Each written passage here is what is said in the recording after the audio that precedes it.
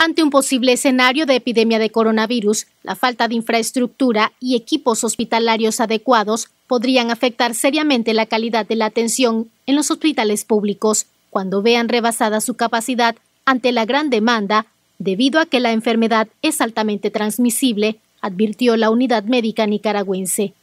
El promedio de camas por cada mil habitantes que hay en Latinoamérica es de 5.5 camas por cada mil habitantes. Pero en Nicaragua tenemos un déficit mayor incluso de camas. Entonces uno se pregunta, en los casos más graves por, por la infección de coronavirus que necesitan hospitalizarse, ¿a dónde se van a ir a meter esos pacientes? Pero en los casos más graves hay infecciones que son oportunistas, que llevan a la, a la, consecuencia de muerte, que es neumonía grave y septicemia.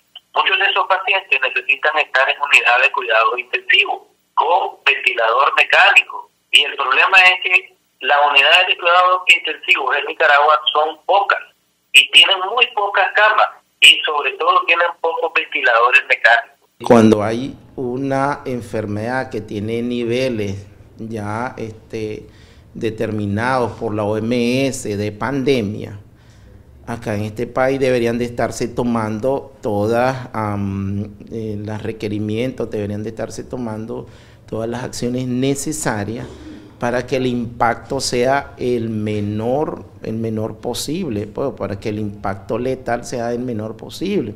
A pesar de la alerta sanitaria mundial por esta enfermedad, que ya ha cobrado la vida de más de 3.000 personas y ha afectado a cerca de 80.000 en varios países, este gremio independiente de médicos y organizaciones de derechos humanos lamentan que a estas alturas el gobierno carezca de un plan de contingencia para atender una posible epidemia de coronavirus y no muestra interés en tenerlo.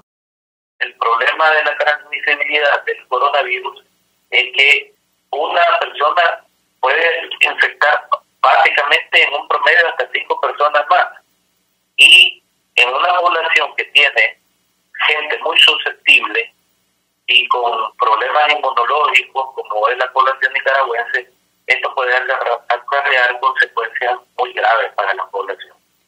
Una de las mayores preocupaciones es el déficit de médicos que actualmente tiene el sistema tras el despido de más de 400 profesionales de la salud por razones políticas el año pasado y que en su mayoría son especialistas que tienen más años de experiencia.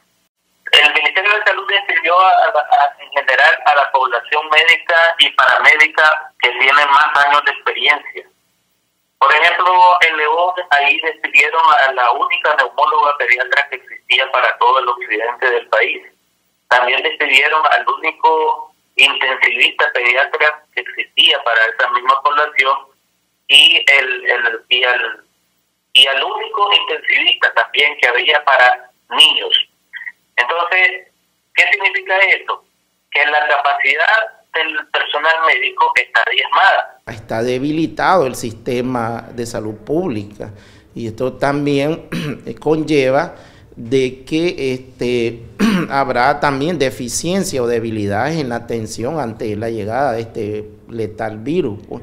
Entonces, eso eh, nos dice cómo estamos en, en, cuanto a la prevención, en cuanto a la atención y de que, de que no, no, el Estado no ha sido responsable, digamos, para preservar y para prevenir situaciones de salud en, en nuestro país. La semana pasada el Ministerio de Salud informó que no restringirá el ingreso a Nicaragua de extranjeros procedentes de países que ya han reportado casos de coronavirus ni establecerá cuarentenas. Walquiria Chavarría, Voz TV.